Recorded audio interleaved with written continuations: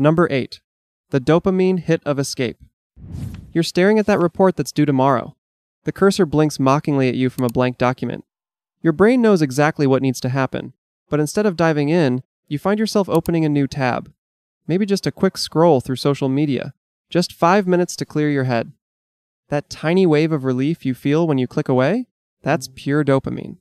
You just got rewarded for escaping from the very thing you should be doing.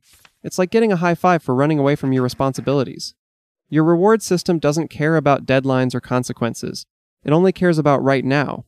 And right now, escape feels fantastic. Your reward system is simply following its original programming, which prioritized immediate safety and comfort above all else. Every time you dodge a stressful task, you get a small chemical celebration. The problem is, your nervous system can't tell the difference between avoiding a saber-toothed tiger and avoiding a PowerPoint presentation. Both trigger the same relief response. The stickiness of procrastination makes perfect sense when you realize it's literally addictive. Each avoidance creates a tiny hit of pleasure, and part of you starts craving that escape. This response is hardwired into human psychology, a leftover from when avoiding danger could literally mean the difference between life and death. Number 7. The adrenaline rush. Some people work best under pressure, and there's a neurochemical reason why. When that deadline starts breathing down your neck, your chemical reward system is activated, creating an intoxicating rush of neurotransmitters. Adrenaline floods your system, dopamine spikes, and suddenly you feel more alive than you have all week. Just like that, you're in beast mode. Blood pumping, focus locked. The same chemicals that would help you outrun a predator are now helping you bang out a presentation at 2 a.m. Your focus sharpens, time seems to slow down, and ideas start flowing faster than you can type them. For some, this rush becomes the preferred operating mode. Normal, low pressure work feels sluggish and boring compared to the electric intensity of last minute panic. You're actually creating the precise neurochemical conditions where your mind performs at its peak. The danger is that this becomes your only gear. You start to think pressure is the only fuel that works, so you create that pressure by waiting until the last possible moment. You become addicted to your own stress response, chasing that high stakes feeling because it's the only time your mind feels fully switched on. Number 6. Creative incubation. While you're busy feeling guilty about not starting that project, your subconscious is actually hard at work. Procrastination often doubles as a hidden brainstorming session. Your mind keeps turning the problem over in the background, making connections and testing solutions without you even realizing it. This is why the perfect opening line often hits you in the shower, or why the solution to a complex problem suddenly appears while you're making coffee. You've basically outsourced the thinking to your subconscious mind. Genius move when you think about it.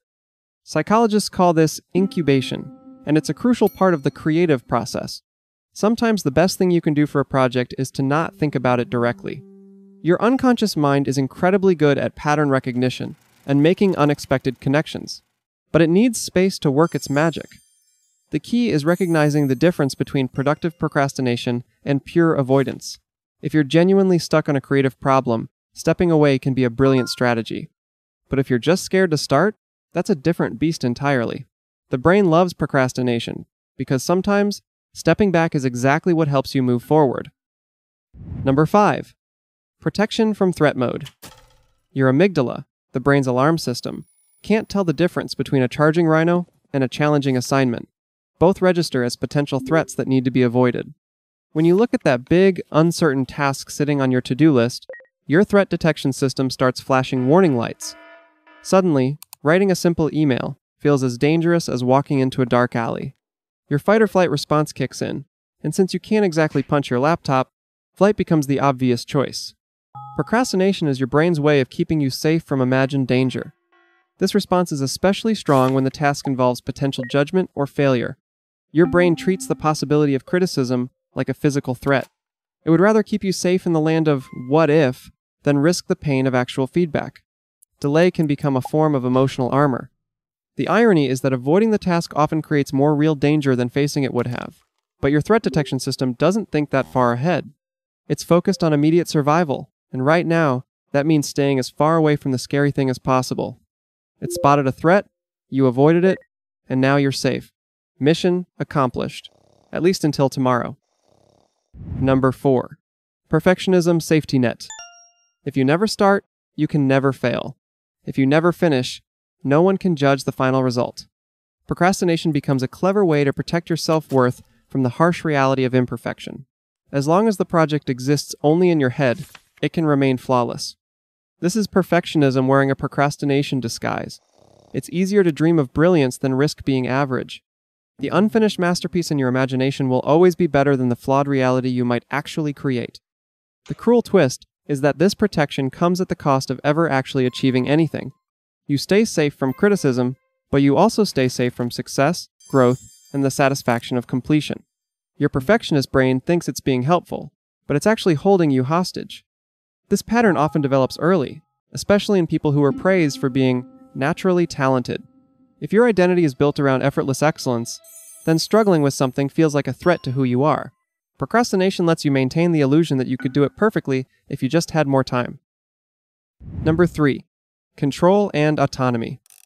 Sometimes procrastination is less about the task and more about who's asking you to do it. When someone else sets your deadline, your brain can rebel by asserting its own timeline. Delay becomes a quiet form of resistance, a way of saying, I'll do this when I decide to do it.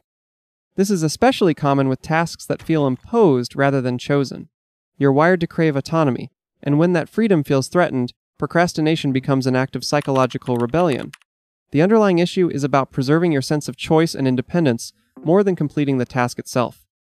Even when the deadline is self imposed, this dynamic can still kick in. Part of your brain wants to prove that you're in charge of your own schedule, even if that means making things harder for yourself. It's like having an internal teenager who refuses to clean their room just because someone told them to. The strange comfort of procrastination often comes from this sense of choice. Even if you're making your life more difficult, at least you're the one making that choice. Putting things off feels like taking your power back, even if it's really just building your own cage. Number 2. Energy conservation. The brain burns through about 20% of your daily energy, despite being only 2% of your body weight. It's like having a tiny supercomputer that's constantly draining your battery. From an evolutionary perspective, avoiding unnecessary mental effort was actually a smart survival strategy. When your ancestors faced a choice between hunting for food and solving abstract problems, the brain that chose hunting was more likely to survive. Mental energy was precious, and wasting it on non essential tasks could literally be fatal. This evolutionary wiring still runs deep in your neural circuitry today. Procrastination flips on your mental energy saver. Why burn calories on difficult thinking when you could coast on autopilot instead? Complex tasks feel like expensive apps draining your system, so the mind just swipes them closed. This conservation instinct made perfect sense when mental energy was scarce and physical survival was the priority. But in today's world, where thinking is survival, this ancient wisdom becomes a modern problem. Your brain loves procrastination because it feels like smart resource management, even when the resources it's trying to save are exactly what you need to use. Number 1. Novelty craving. Human brains are wired to seek out new, unpredictable experiences. Novel stimuli trigger dopamine release, which feels good and helps you learn. This made sense when survival depended on noticing changes in your environment. The brain that got excited about new things was more likely to spot opportunities and threats. But tax forms aren't novel. Neither are reports, emails, or most of the tasks that fill your day. Your brain looks at these repetitive, predictable activities and basically yawns. Meanwhile, that notification on your phone promises something new, something different, and something that might actually be interesting. Social media platforms have weaponized this novelty craving. Every scroll offers the possibility of discovering something surprising. Your brain gets a tiny hit of excitement with each new post, each unexpected video, and each random piece of new information. It's like a slot machine designed specifically for your attention. The mundane task you're avoiding can't compete with this constant stream of micro-novelties. Why answer emails when you could be three Wikipedia pages deep on why octopuses dream? Procrastination feels like exploration, like keeping your options open, like staying alert in case something fascinating shows up. Understanding why you procrastinate doesn't instantly fix it, but it does shift something. You stop blaming yourself and start getting curious.